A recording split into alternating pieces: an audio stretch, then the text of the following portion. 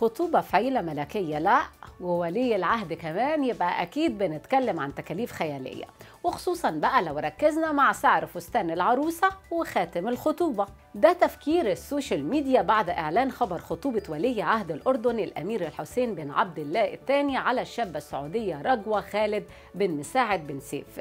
فيا ترى الكلام ده صحيح ولا مبالغ فيه؟ وإيه السعر الحقيقي لخاتم الخطوبة؟ اللي أثار فضول الكل؟ دي المفاجأة اللي هتعرفوها معانا في الفيديو ده. خبر خطوبة ولي عهد الأردن الأمير الحسين بن عبد الله الثاني على الشابة السعودية رجوة خالد بن مساعد بن سيف نجح في إنه يتصدر الترند لأيام. وكتير من الناس مهتمين يعرفوا كل تفاصيل الخطوبة الكبيرة والصغيرة.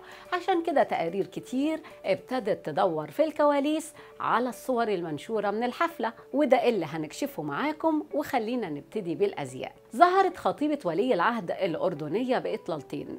الأولى عبارة عن فستان زيتي عليه كارديجان أبيض مطرز.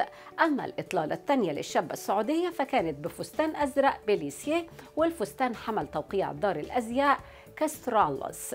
ووصل سعره ل 4005 ريال سعودي. يعني بنتكلم في حوالي 20 ألف جنيه مصري.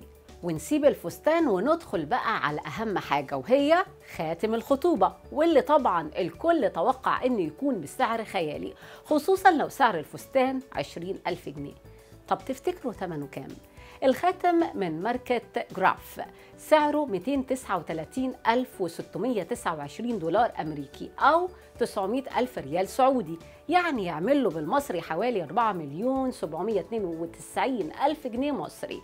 وبرضه فضول الناس موقفش عند خطيبة ولي عهد الأردن بس.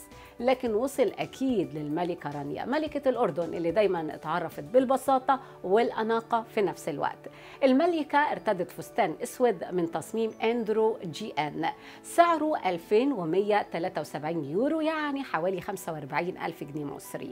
وكانت وكالة الأنباء الأردنية أعلنت في بيان رسمي عن خبر الخطوبة وقالت أن خطوبة الأمير الحسين بن عبد الله الثاني ولي العهد على الآنسة رجوة خالد بن مساعد بن سيف بن عبد العزيز آل سيف تمت يوم الأربع 17 أغسطس بحضور الملك عبد الله الثاني ابن الحسين والملكة رانيا العبد الله وقراءة الفاتحة كانت في منزل والد الأنسة رجوة بالعاصمة السعودية الرياض وبوجود الأمير الحسن بن طلال والأمير هاشم بن عبد الله الثاني والأمير علي بن الحسين والأمير هاشم بن الحسين والأمير غازي بن محمد والأمير راشد بن الحسن وعدد آخر من أفراد أسرة آل سيف كمان الملكة رانيا قالت في تغريدة عبر حسابها على تويتر رجوت الله مثلي مثل كل أم أن يرزقك خيرا وأن تجد من تحب. فجاءت رجوة مبارك لابني الأمير الحسين وعروستنا الغالية والحلوة رجوة. الله يهنيكم ويسعدكم ويتمم على خير. أما أنتم فقولوا لنا رأيكم إيه في الأسعار اللي قلناها دي؟ وهل شايفينها طبيعية بما إننا بنتكلم عن العيلة المالكة ولا لأ؟ كمان قولوا لنا رأيكم هيكون إيه لو قارناها بتكاليف حفلات الخطوبة للمشاهير في مصر.